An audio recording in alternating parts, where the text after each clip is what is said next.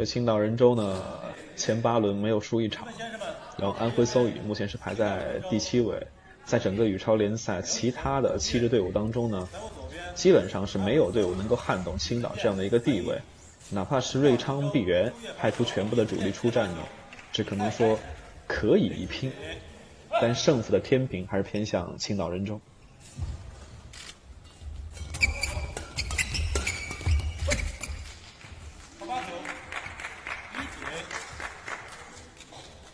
李子健他们这一队呢，年纪小一点。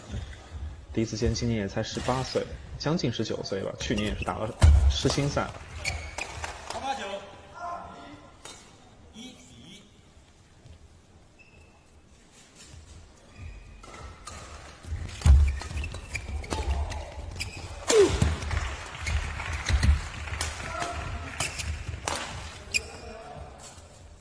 其实是一拍机会球。这半场很高，有时候呢，越是这种机会呢，就越容易出现一些问题。太想拿这一分，整个动作幅度都偏大。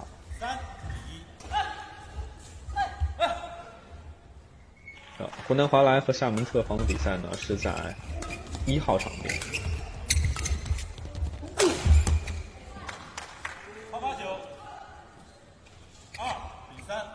这个对角呢是杀的挺突然，还是对自己的要求太高了。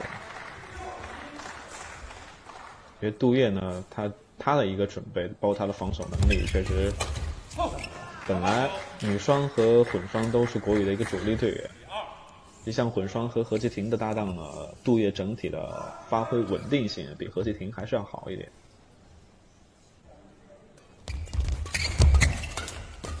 所以很多时候呢，混双，这就是男队员占据一个主导，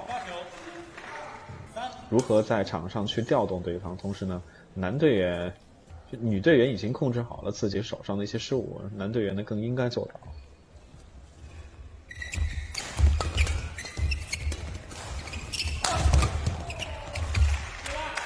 力量重。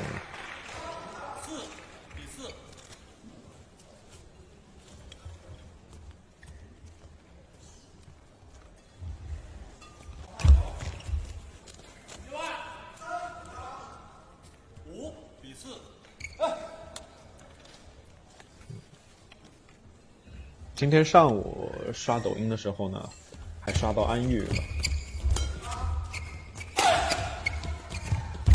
安玉呢也是打羽超的一个老将，但这粉丝量呢确实也就几千人。对，抖音里面隐藏的高手太多了，就很多人呢，包括对他们都不是很熟悉，但其实却是隐藏的大佬。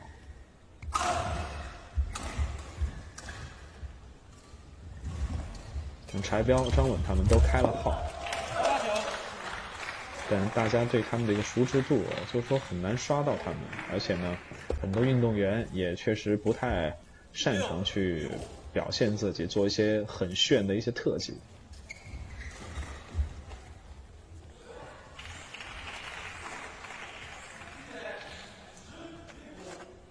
对，混双是第一场，所以我们看，就。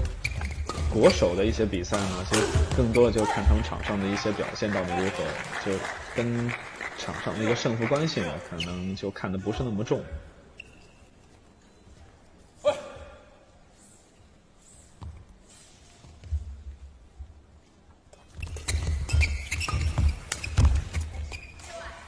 打一拍转身，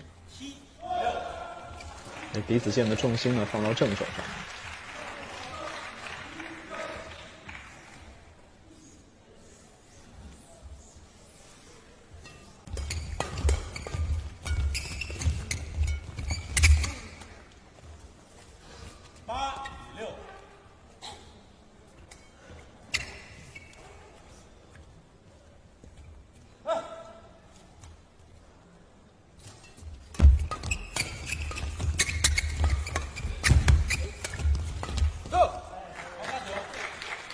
都还是有一些漏球的情况出现。其实混双呢，对对这个男队员的要求是比较高的。你要掌控全局，同时呢，你像混双里面还得要随时注意前场的女队员，如果这一拍漏球了，没有封到的话，你后场要及时的补位，注意力要非常集中。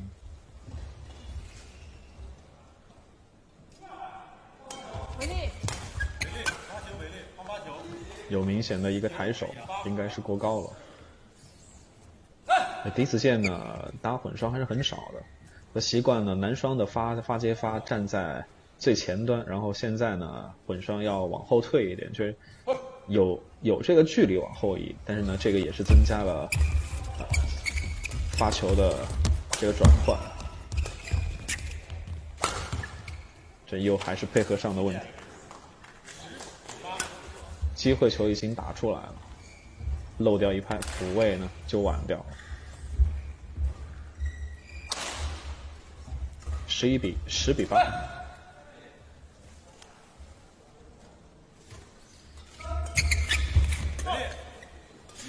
第一局十一比八，刘雨辰和杜月先拿下第一局。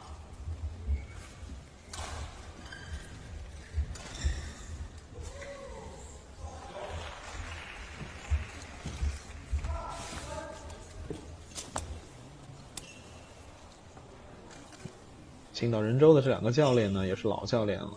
就是我们看，应该是有印象当中，羽超联赛开始的时候呢，青岛人州就是这两名教练。女教练应该是辽宁的嘛？这个男教练呢是湖南的。啊，下午看的时候，其实解说也在。其实我没有说话，我在家里，跟跟。在评论区打文字出来的，所以你们很多人还还是不知道我叫什么，对吧？也不知道哪个微信号是我的，以为是工作人员在跟你们说话呢。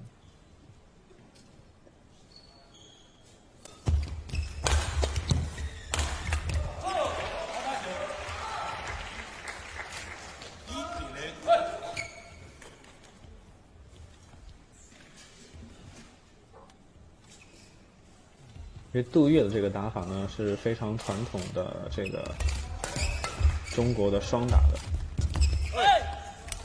那本身湖北呢，它也出女双的人才，高龄、赵云磊，这都是在混双和女双两个项目上面都拿过很好成绩的选手。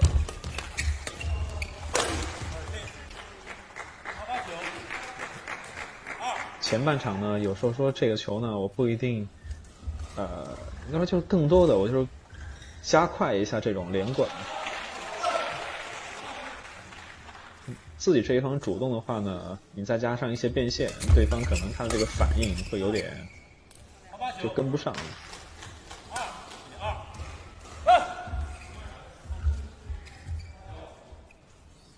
看场外的观众，我也看不到啊。应该是没有观众的吧？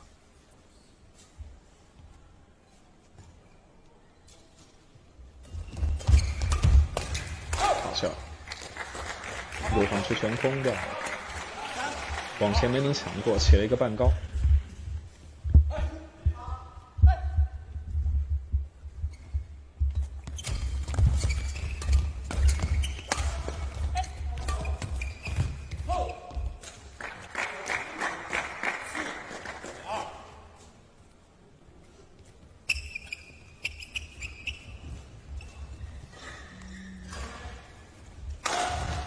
水平感觉这三个国手，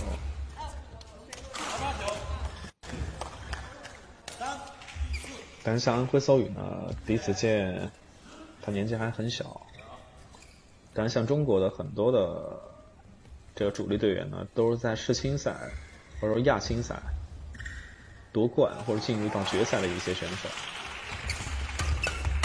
刘雨辰和李俊慧呢，就是世青赛冠军。两次世锦赛夺冠呢，好像都是战胜了郑思维和黄凯翔。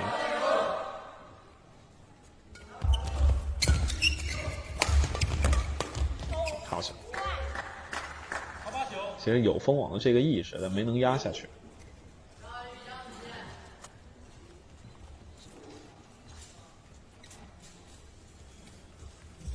回赞就只有李彤这位朋友，每场都在。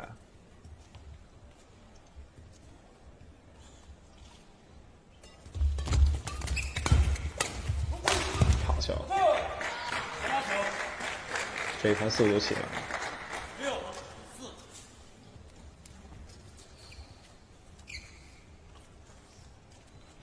其实抖音的这个互动的话呢，就是它打字就是一行接着一行，会比通过公众号进的这个微赞的房间呢，就看上去聊天更加直观一点。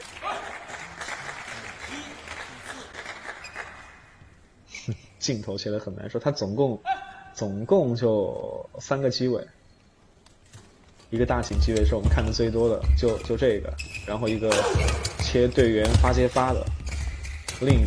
呃，另外两个都是接这个发接发的，就没有什么慢动作，更别说什么啊有正中的这个位置看前看往前球，然后呢底线和边线看是否出界，慢动作这些都没有的，用最简单的一个办法。我们有时候出去就做一些微直播的话呢，就像我们的打球吧孩子，基本上也是像这样的三个机位，三台摄像机。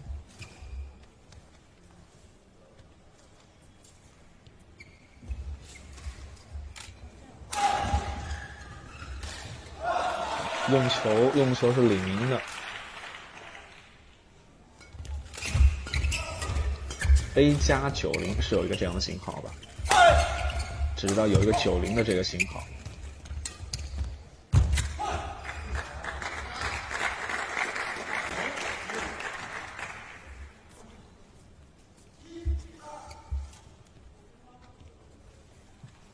打这个混双其实就串一下，你像今天下午呢。浙江队吕学周不也是上了女双吗？包高仿鞋，女单也上女双。六比九。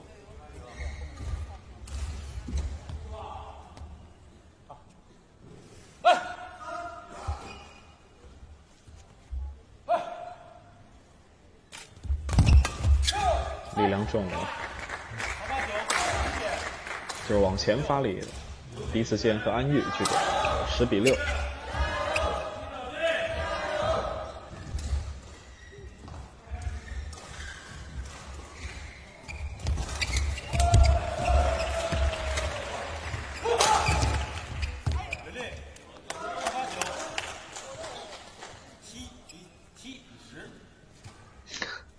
都说下午没有讲解啊，下午我有发文字跟你们在聊啊，只是你们不知道哪个是我。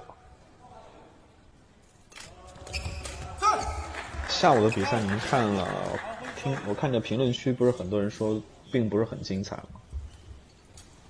所以连连这种都都觉得你们都会觉得好像打的并不是太好，下午那种都。的比赛都是更多就是省队的一些队员，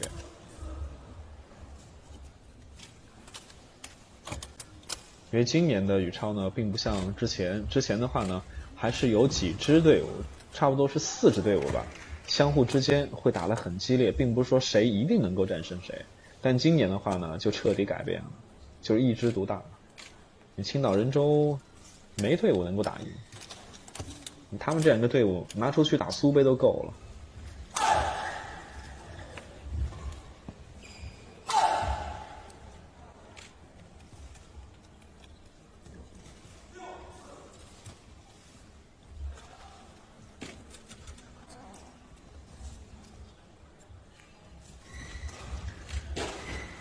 刚刚不是说了吗？用的什么球？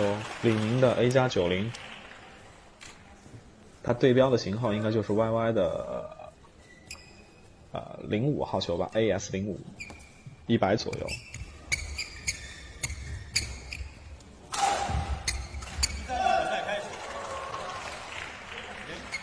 但国际大赛上面 YY 的用球呢是三三百左右一桶。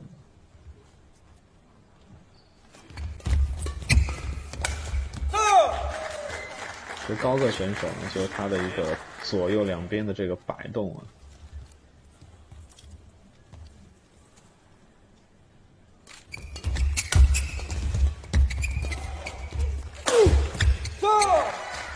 狄子健开始发力了，从第二局开始就变得很凶。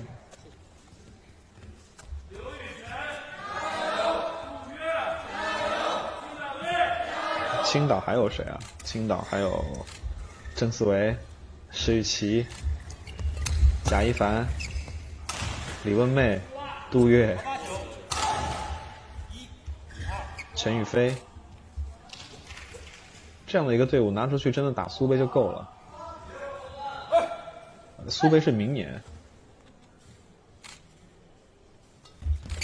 逢双数年呢是汤尤杯，奇数年呢就是苏杯。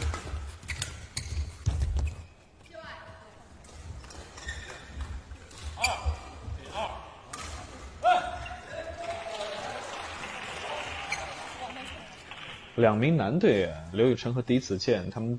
基本上都不打混双的，杜月还是有坚强。女双和李英辉，混双呢和何继婷。他和何继婷的这个混双呢，应该就是排在郑思维、黄雅琼和王懿律、黄东萍之后了。在中国的应该是第三混双。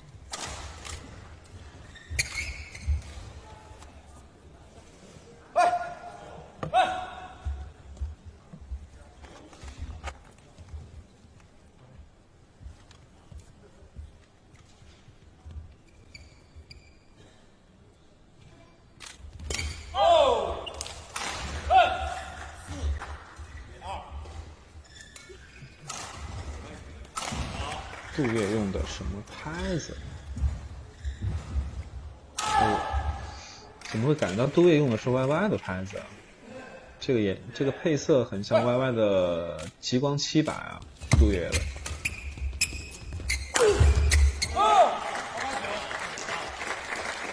还是有力的。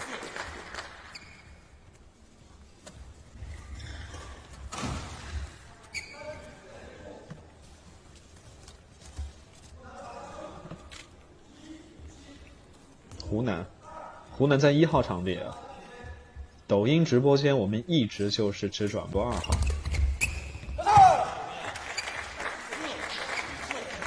这这还是配合上太少了。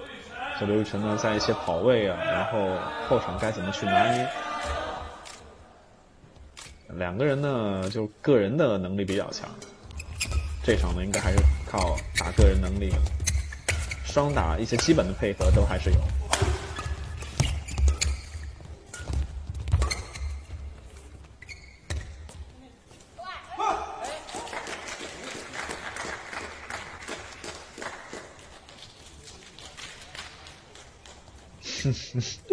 柱、铁柱、铁蛋都在。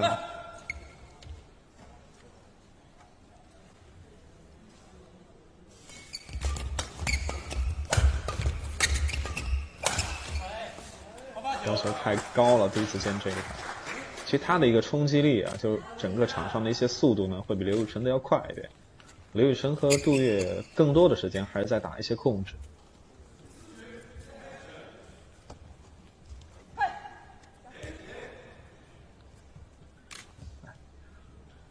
很多东西都已经省掉了，机位都只有三个机位了，所以一些什么挑战啊、慢动作这些全都没有了。丝线怎么判就是怎样。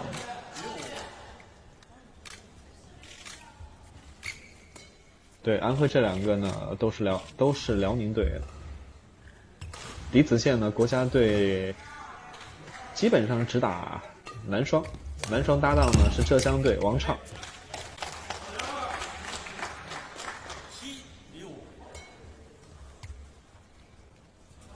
对安徽呢，他也身上羽超不穷，然后别的队伍的话呢，都有相对稳定的一些球员，所以安徽呢也只能够从别的队伍当中来挑选。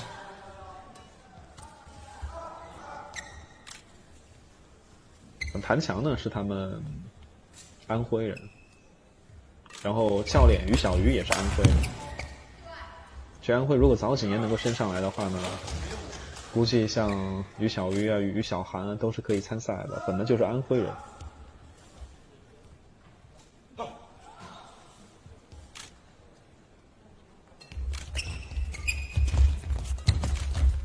对角。哎，又是有点，往前太过于着急了。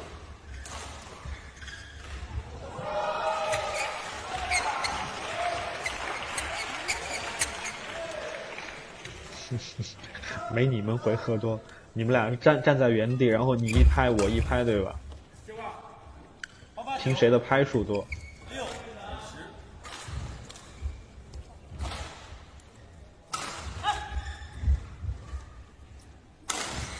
其实小时候没有正规接触过羽毛球的话呢，都会认为，哎，打羽毛球就应该是两个人就保持稳定，你一拍我一拍，然后呢，长大之后才发现，哦，羽毛球就是要往没人的地方打。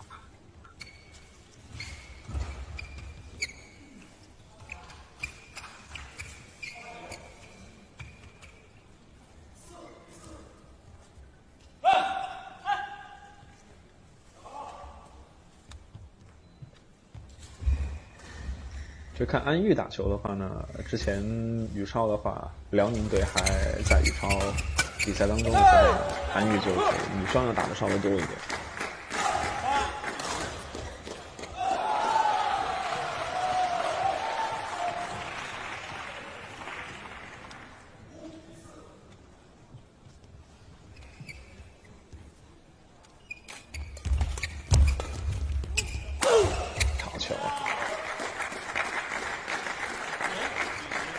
就是南北方的一个差距啊，就是感觉南方人打球呢，就他手上的一些变化、角度想的要更多；北方人的优势呢，就是在于他们就动作干脆有力。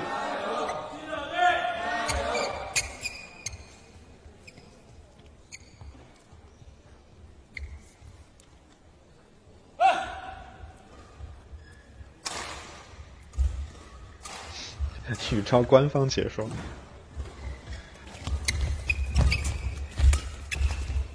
一号场地宇超呢，他的主持并不是官方的，他成都电视台的一个主持人。然后嘉宾嘉可以多听听嘉宾的，嘉宾呢就是每个队伍会上一名教练。然后湖南队张稳呢是上了两场解说。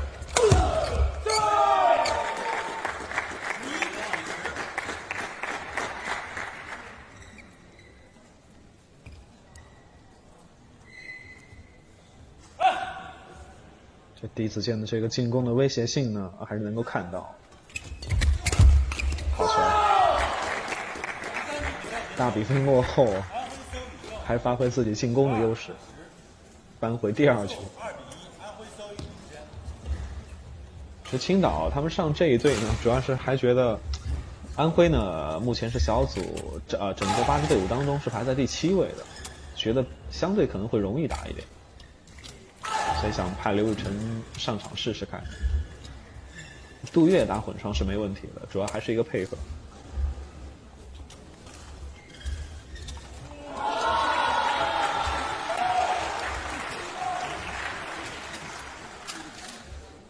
李子健的这个球鞋呢，就是汤尤杯今年李宁为汤尤杯新推出的一个款酷沙二，然后衣服的话呢也挺好看的。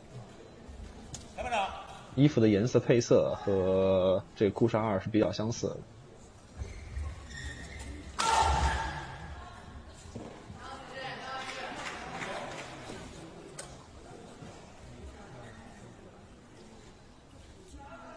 这喊裁判长了，是现场有什么问题吗？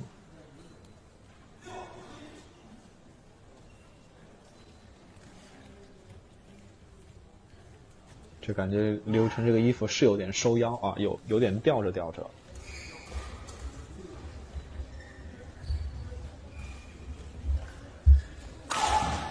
有一个医疗暂停，彼此见。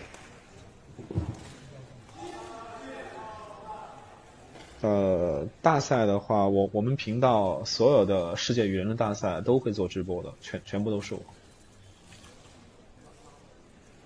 抖音的话。我具体不太清楚哎，但通过就进我们的公众号的公众号里面呢，我们会做微直播的；电视上呢，决赛一般都有。此前呢，是从第一轮到最后一轮都是做电视直播，后来就改为用网络直播这种相对轻松一点的。做电视直播呢，太过于一本正经。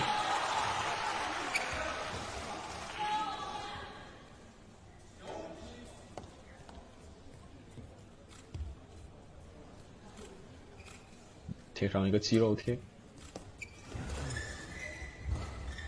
其实像肌肉贴呢，很多年前，很多年前刚开始打球的时候呢，也买过，觉得这个东西挺有用的。他肩膀上应该是，肩膀上贴的应该不是肌肉贴，肩膀上贴的应该是膏药。其实有时候呢，运动员在比赛过程当中，你们不知道他身上有什么伤病。我们之前在长沙有一次打这个全国业余俱乐部联赛的时候呢，跟我搭档的这个混双女队员呢，她是手体的研究生，从小练羽毛球的。然后呢，其实她的力量挺足的，但就是由于肩膀这一块儿有伤，没办法杀球，杀球发力特别痛，她特别痛。做比赛之前呢，是打打了一针封闭。呃，只能够拉高球、吊球，没办法杀。打了封闭，你杀球的话太痛了。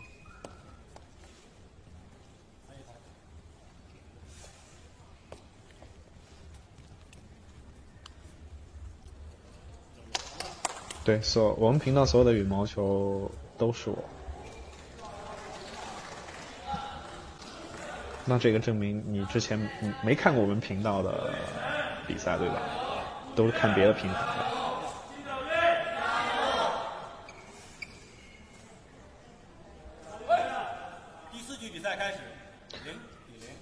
最近整个国整个国内都没有，你常州的话，你肯定是中国公开赛啊，世界范围性的比赛是没办法。更多的就是很多国家的一些队内赛。像中国打这个联赛呢，估计像日本、马来、印尼、丹麦，他们自己国内的联赛呢也要开始了。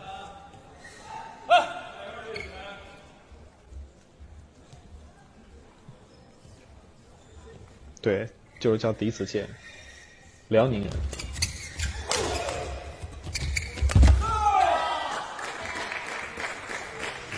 应该是刚满十八岁吗？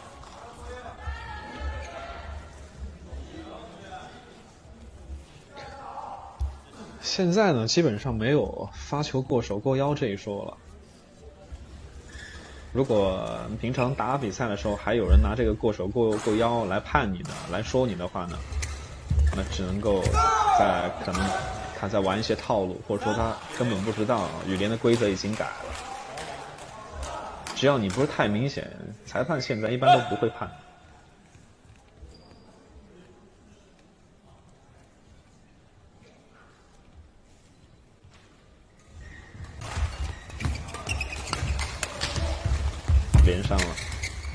机会拉起来，挡了往前走，慢了。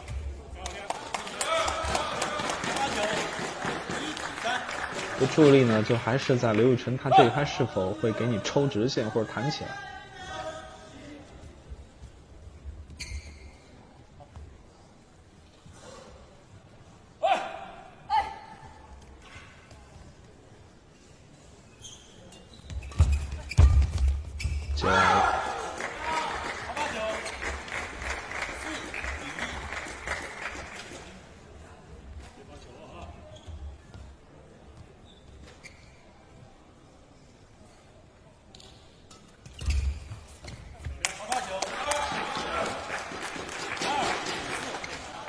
有点运气。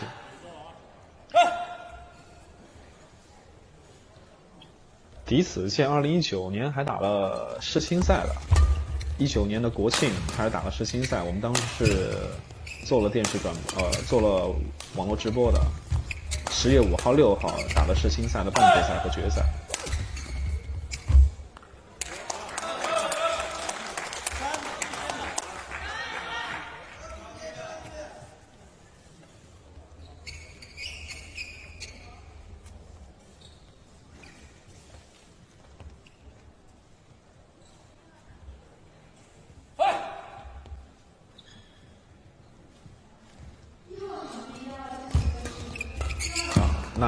就是说他改了三岁对吗？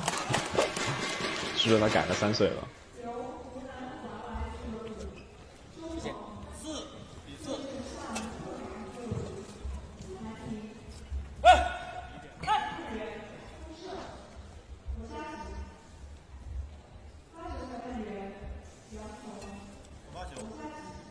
但现以前呢，可能会这个改年龄会是一个普遍的现象，很多运动都这样的。但现在的话呢，就会涉及到一个测骨龄。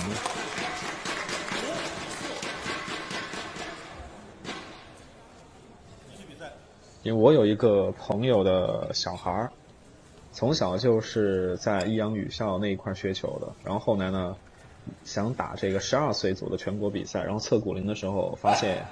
骨龄比他的实际年龄真的是实际年龄大了三岁，因为那个小孩我我是很熟的，从小看他长大的。然后呢，医生给出的一个原因呢，可能就是从小就一直喝牛奶没有断过，所以呢，这个钙物补充的有点过剩了，导致骨龄偏大，就没办法打这个十二岁这个年龄段的，只能够放弃了。以小打大的话呢，就又。就完全打不过。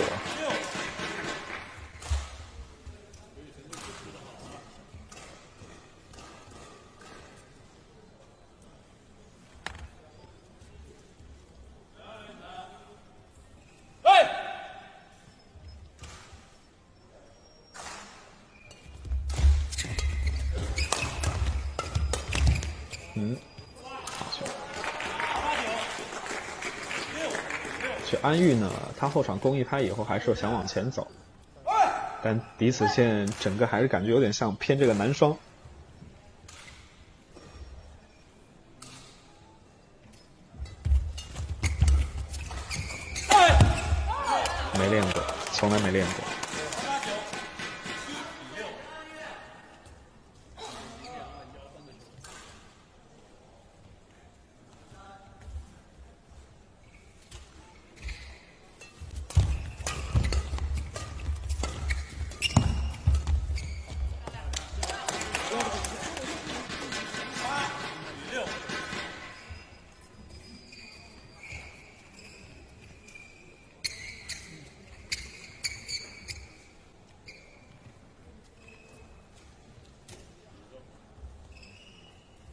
八比六，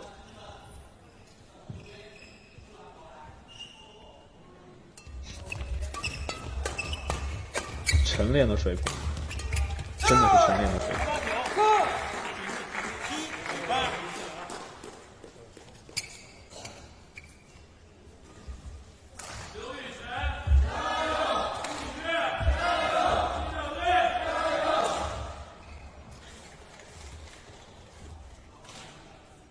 接发球应该还是一样啊，你不能够踩线，发财还是会更重要。包括在球没发出去的时候呢，脚步先移动，这个也会被判罚。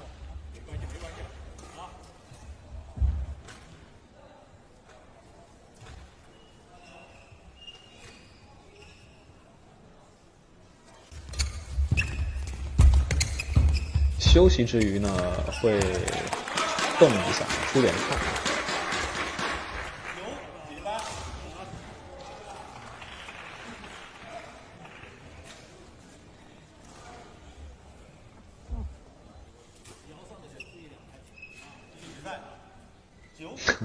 对面是省队，场上四个队员，三个国家队的。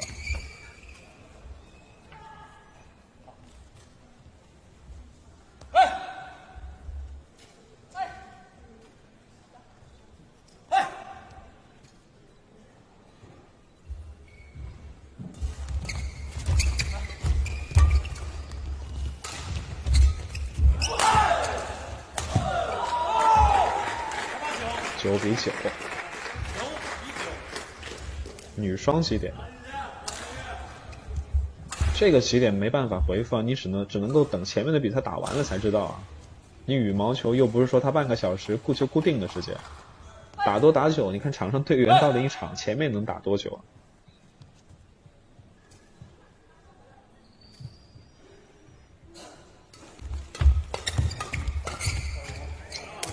可惜了，想法还是挺好的，控制刘雨辰的转身。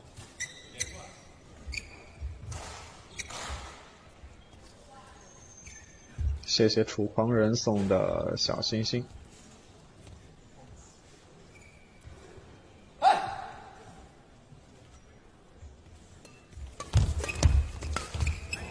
失误了，后面这两分丢的有点可惜。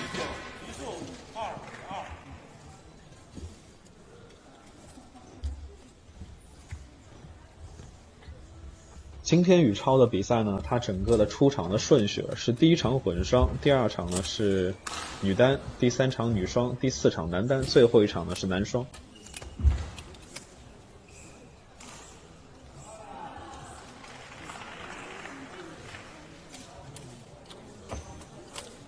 发球没有说不能够左右晃，只是说你在发球的那一那一刻，你保持不动就可以了。你发球之前还是可以的。其实说这个呢，主要就是裁判不不判你的时候呢，你随你；但裁判一旦判罚呢，你就要注意。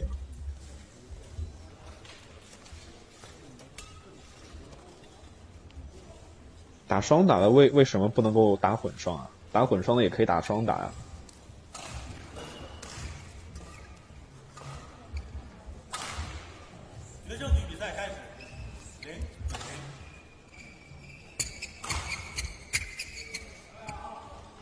印度的羽超单打队员打双打，双打队员打单打。你看过李龙大打单打，辛德胡打打双打，这个没所谓的。小时候青年队员的时候，单双都是要打的，只是进入到国家队之后呢，会比较固定在哪一个项目当中嘛。王小李当年单打能力是很强的，零九年的全运会。当时零九年，想卢南已经，卢兰已经拿到世世锦赛冠军了。王小李在全运会上面还能够跟卢兰打满三局才输的。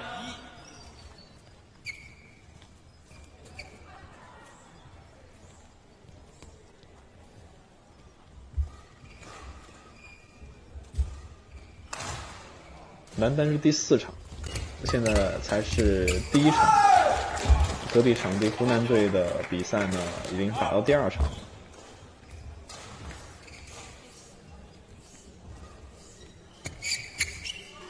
比赛的票，这一届羽超没有票，没有票。以前的话是有票，以前呢，八个队伍的话，他们都有自己的主场。一般羽超的票呢，最便宜的，你像湖南的，票面价格好像是五十吧。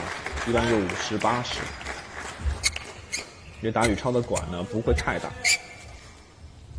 当然，像青岛人州的话呢，他这个他们的主场是放在当年一一年青岛苏杯的那个场馆里面。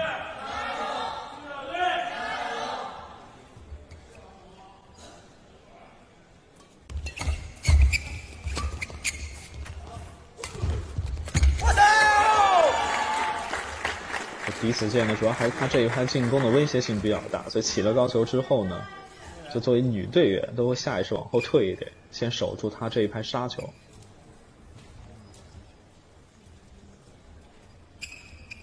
啊，再一样不要钱都是送的。SK 这位朋友，你是一阳的吗？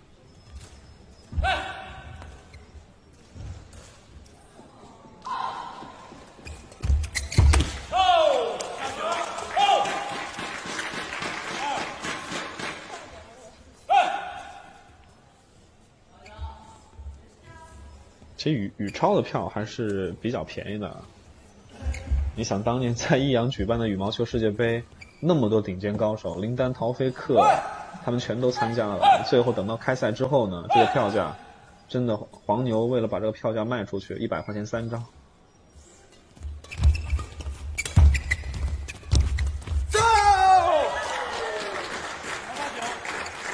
哦，是益阳的，有这么多益阳的。我也是一样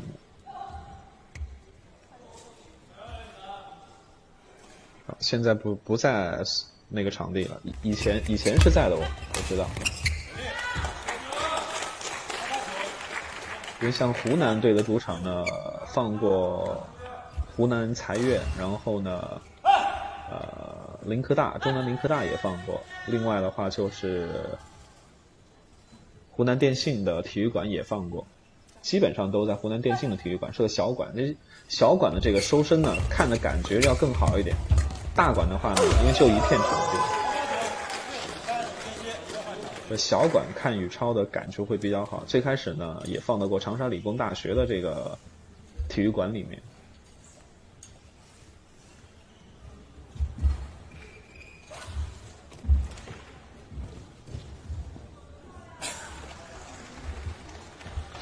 韩胖胖也来了，啊，华容，对我我知道，华容是挨着南线的。二号场地二十秒，二号场地二十秒。谢谢姚送的小星星。六分，因为第五局这是决胜局了。宇超呢，他是每局十一分，五局三胜制。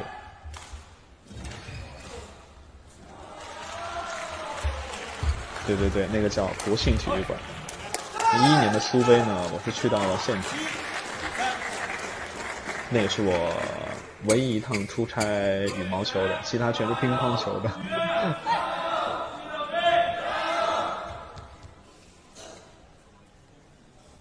谢谢请你吃送的小星星，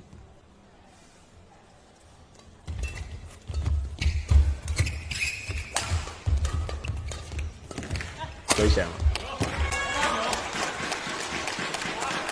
这前半场抢的意识还是非常明显的，但有时候就是攻完一拍之后，如果突然间分到一个离身体稍微远点的地方呢，就这个绕头顶呢，准备工作。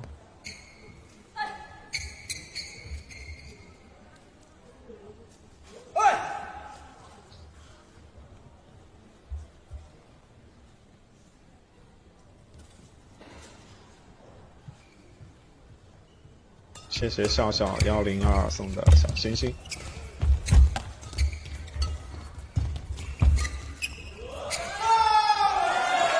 这个彩球确实出现太多了，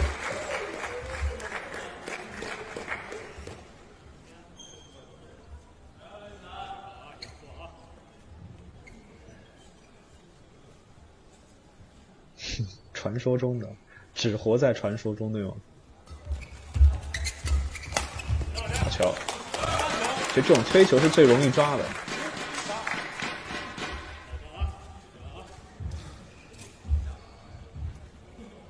因为这一招呢，我是深有体会。有时候我们自己打球的时候呢，会有一些体校的或者说是省队的队员，你推完这拍以后，推完然后就会用一种蔑视的这个口吻跟我说：“你不知道我在这等你吗？”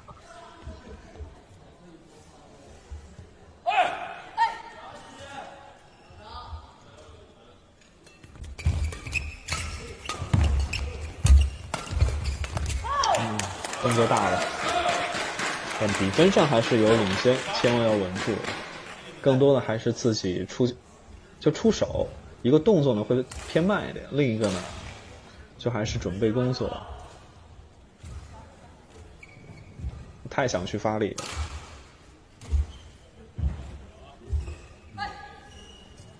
哇！哇，羽毛球肯定比乒乓球打得好啊。机会球又是一拍打丢了，太想发力这个对。乒乓球打个光板的还可以，上胶皮就不行。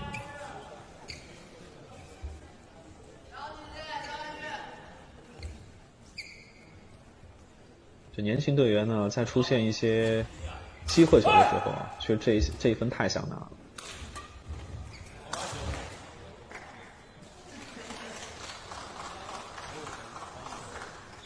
哪一级？你就说按照那个级别吗？我应该是第二级嘛？第二级，第二级还是第三级？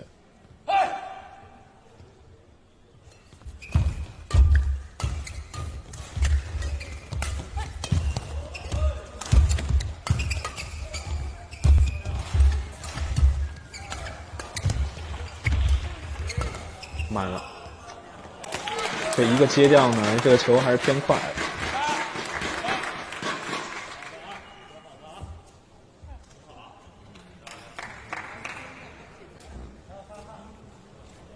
青岛人州呢，也没有想到，这还是第一盘的混双，被狄子健和安玉逼到这个份上。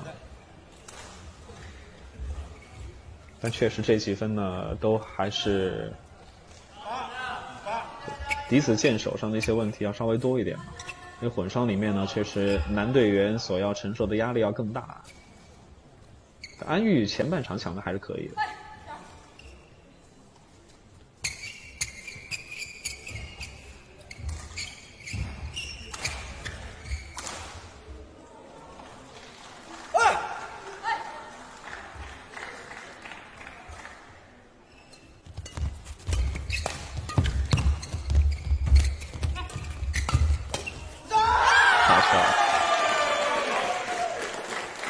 没收住，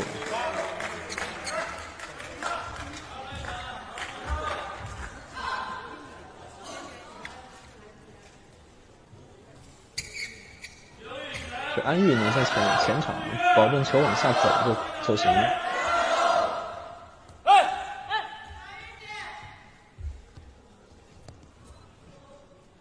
后场的发力一定要注意，判断到了。一个对角线抽球太平了，刘玉成这个身高呢压根就没动。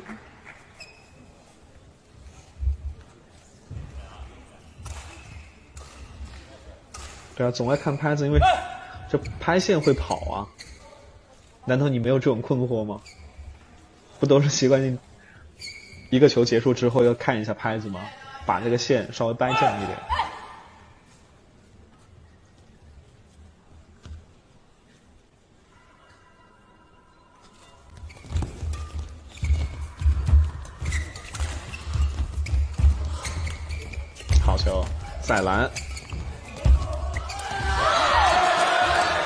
配合上。鼻子剑呢，有点感觉安玉会接这一盘。你想接的时候呢，就接和不接，直接干脆。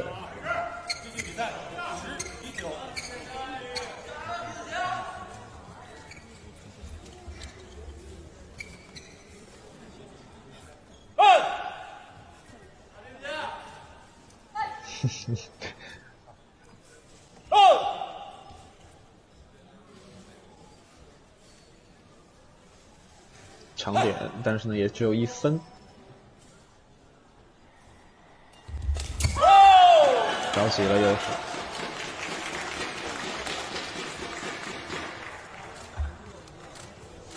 这打的太激烈了，以至于呢，直接给握，直接握手了，击掌。